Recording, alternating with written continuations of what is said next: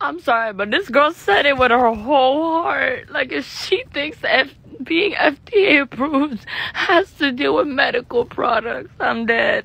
And this is the person y'all want to buy sauce from, quote unquote, food products from.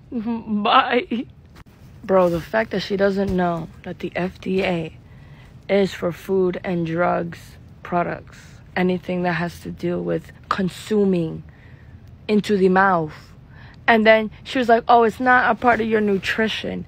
Sweetie, if you're making anything with food, you have to put down your nutrition facts.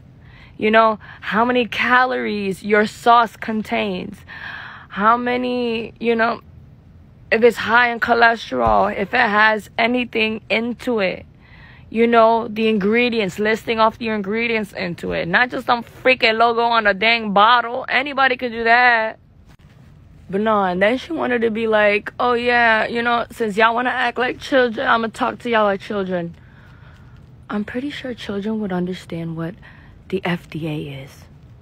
I'm going to be honest. And in, in this point, especially in middle school, because she was like, oh, that I'm going to talk to you like middle schoolers, because I used to work with middle schoolers. Sweetie, I think they schooled you.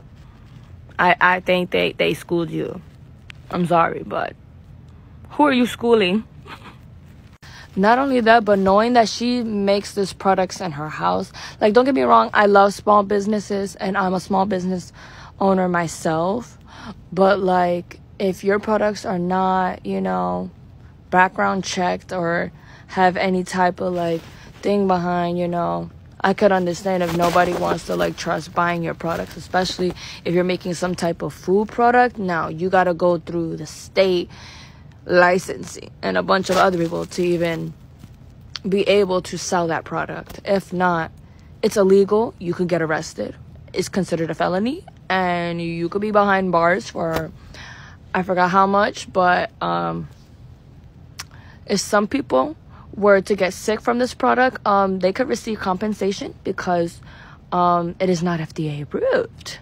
If it's not FDA approved, um, you should not be selling it. No, ma'am.